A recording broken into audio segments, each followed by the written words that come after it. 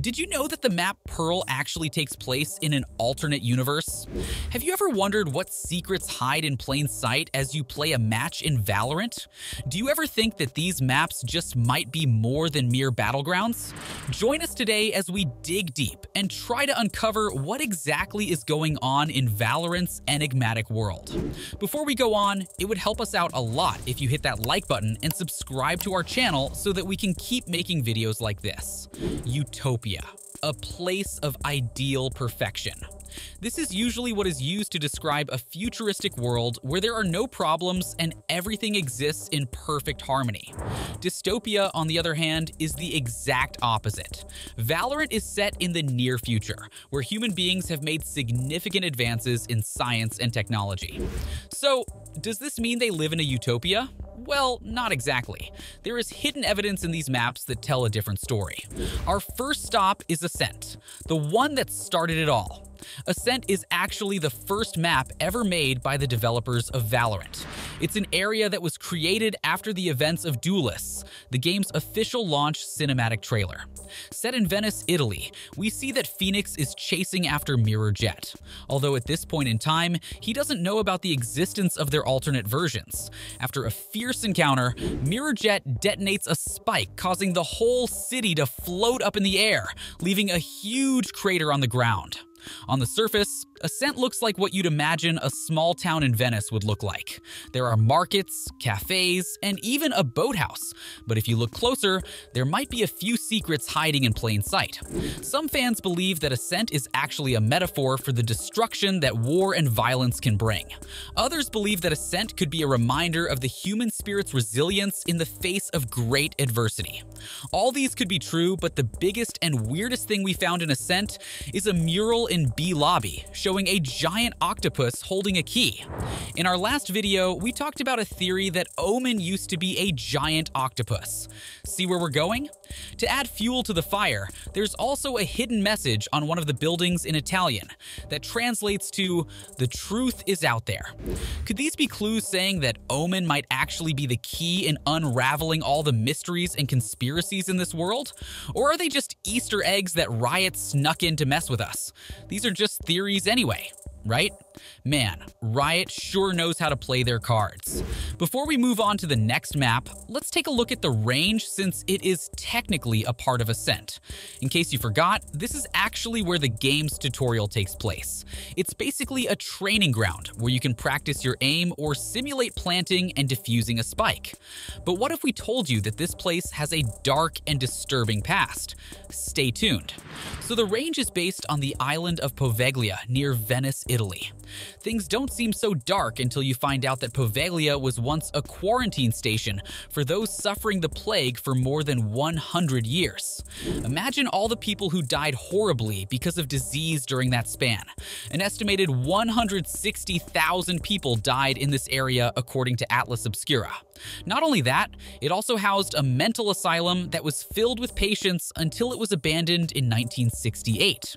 While there is no concrete confirmation from Riot about this, you can definitely see the similarities.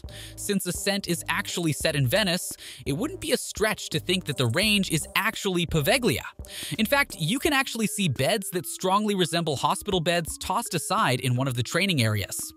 Think about that the next time you're warming up by practicing your headshots on hapless training bots. The range isn't the only map with an interesting past. This time, let's go all the way to Russia in an Arctic archaeological site filled to the brim with radianite. We're talking about Icebox. Just as its name suggests, Icebox is a place encased in snow with temperatures going as far down as minus 23 degrees Celsius. It's so cold here that researchers have to wear a special suit to help them perform their task. This map looks like your standard research facility, with tons of crates containing Radiant moving around and several workstations for Kingdom's employees. There's even a kitchen area with leftover pizza from when the company had a party for Paul being the employee of the month. Great job, Paul. So, what exactly makes Icebox interesting?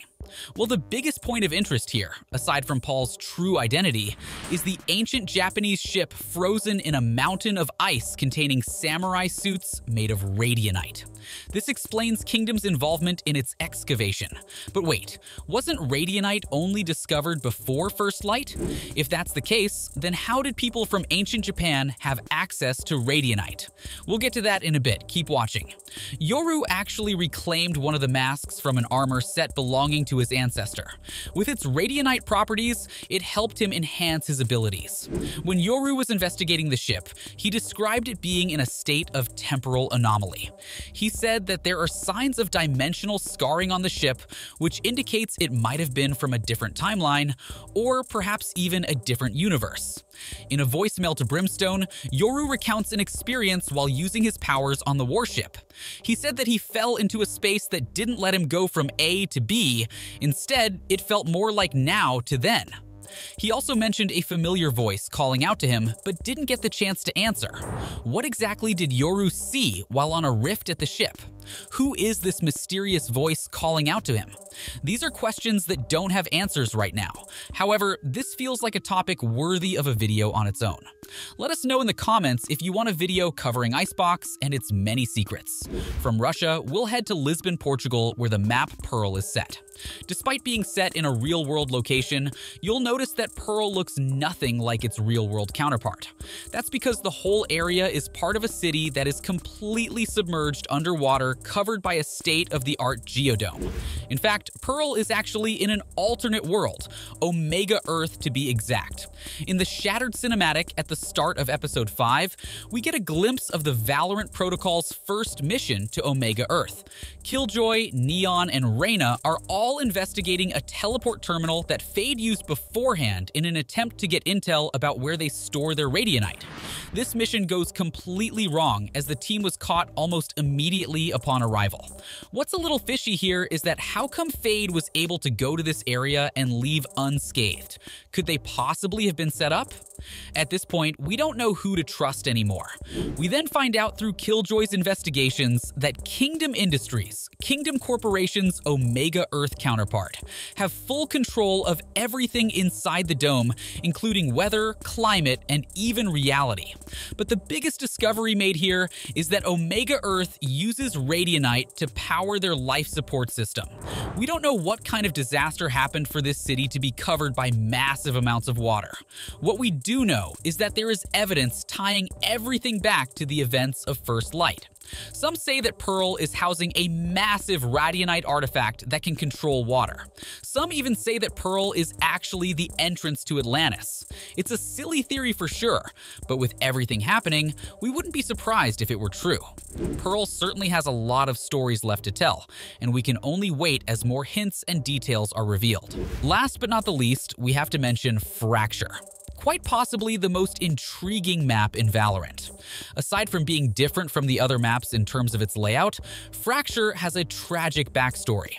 The building that we get to interact with in Fracture is called the Everett Lind Facility, located in New Mexico, USA on Alpha Earth. Here, Kingdom Corporation and Kingdom Industries are secretly collaborating with each other to study the nature of radianite, its potential to create new universes, and biome acceleration. There's a teleporter inside that allows scientists and researchers from Omega Earth to enter the facility. They were working on a large radiant collider that accelerated radianite particles at very high speeds to study its properties. The tragedy occurred when Vincent Fabron, better known as Chamber, infiltrated the facility and destroyed the collider with help from his Omega Earth counterpart. This caused a massive explosion that literally fractured reality and killed most of the people present at the facility. Fracture is the only place so far that literally bridges Alpha and Omega Earth without having to use any form of teleportation. The biggest theory here comes from the question as to why exactly did Chamber cause the explosion. Chamber is a very mysterious agent whose motives are unclear. The fact that he did this in cooperation with his counterpart makes it all the more suspicious. At face value, you can assume that Chamber did this because he sees it as something that he will benefit from, most likely from a financial standpoint. But what if he did it to prevent something even larger than all of us could possibly imagine? In our last video, we mentioned that Chamber's goals are considered his sacred truth, and that if he were to reach his goals, he might end up being painted as a villain. Could it be that Chamber chose to destroy Fracture being fully aware of the casualties knowing that it's the only way to stop a potentially bigger disaster? There's a clue that this might be the case. The terminal screen in patch 3.10 actually showed a reference to Homer's Odyssey, specifically the story about Scylla and Charybdis. When Odysseus and his crew were passing through the Strait of Messina, they had to make a choice of either passing by Scylla, a six-headed monster, or Charybdis, a giant whirlpool off the coast of Sicily. Choosing Scylla would mean that he would only lose a few members of his crew, while choosing Charybdis could mean losing his entire ship. If we connect the dots, it looks like Chamber was faced with a similar dilemma and chose a lesser evil, even if it cost a few innocent lives. Looking at some of these maps, it's clear that the world of Valorant is in a far more advanced state than what we currently live in. So, is it a utopia or a dystopia? With all the twists and turns the story is going through, Valorant just might end up being a dystopian society where their pursuit of technological advancement would lead to their ruin. However, the story isn't done just yet. There are plenty more secrets to uncover, and we'll be around to watch it all unfold. Let's just wait and see. Thanks for watching the video, that's all we have for you today. What do you think about Valorant's world? Do you think it's a utopia or a dystopia? Which maps hide the biggest secrets? We'd love to hear from you, so let us know in the comments below. Don't forget to like and hit that subscribe button for more awesome videos like this.